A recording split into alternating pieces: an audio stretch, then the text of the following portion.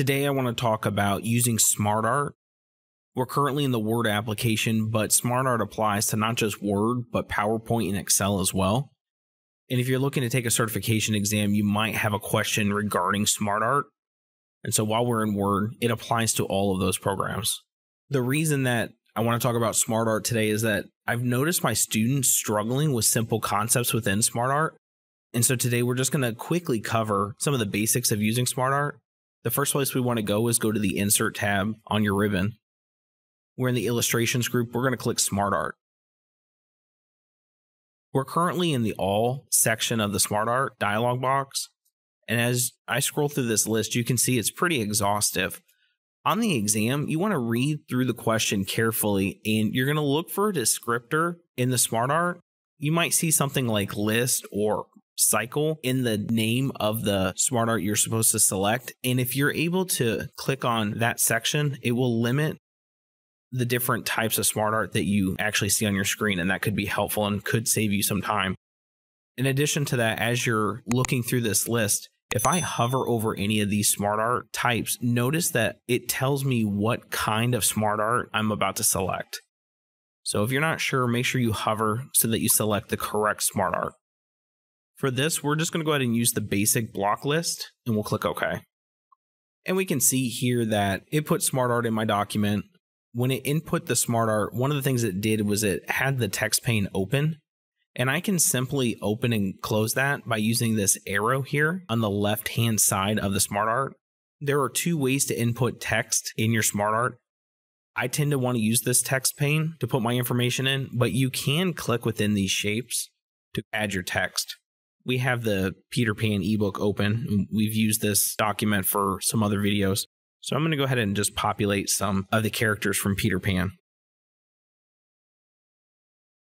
I've gone ahead and I've typed in four different characters within this story. Notice here that I have a fifth bullet and I don't want to add any more characters.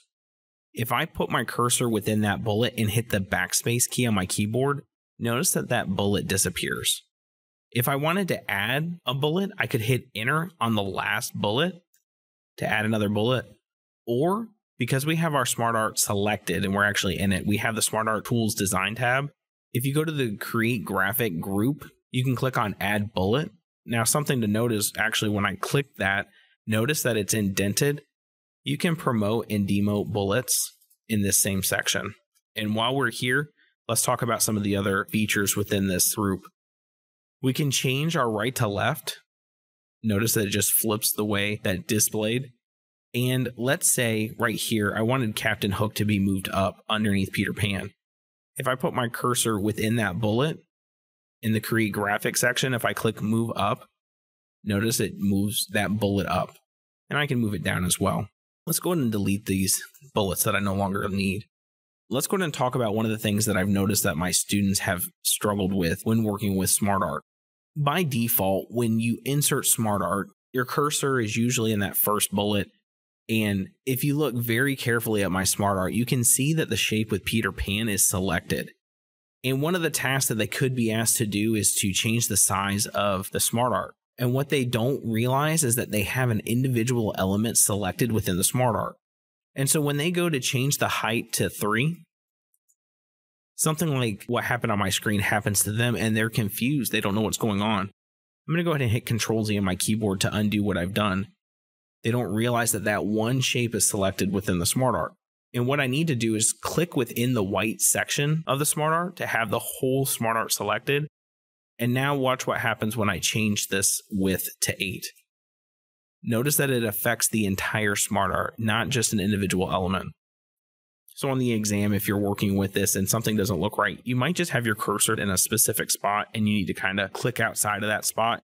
While we're on the SmartArt Tools Format tab, let's talk about the Arrange group.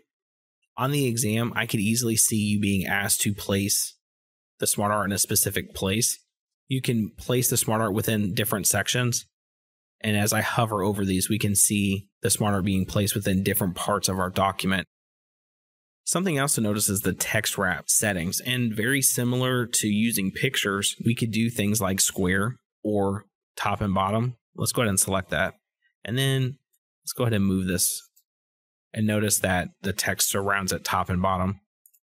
And then just so you can really see it, let me go ahead and put behind text so that you can see the wrap settings with that effect. I'll do Control Z on my keyboard again just to undo what I've done. And let's talk about one other thing. Let's go back to the Smart Art Tools Design tab. And some of the things that I could see you being asked to do on the exam is change either the colors. This list is a list that you can scroll through. One of the things that I've seen students struggle with is maybe they're down here on accent four and they don't realize that in order to find the colorful section, they need to scroll up. So note that this does scroll up and down this list. The other thing that you could be asked is the smart art styles, this section right here. And if I click the more drop down, they have the best for this document, but they also have some 3D styles. I know I mentioned this earlier on something else, but if you're not sure what you're about to select, make sure you hover so that you select the correct style for your smart art overall working with smart art is not difficult but I encourage you to practice creating different types of smart art so that on the exam, if you have an issue like what my students have noticed on their practice, where you have issues resizing the smart art, you don't get upset on the exam. You just undo what you've done and then you can fix it and move on to a different part of the exam.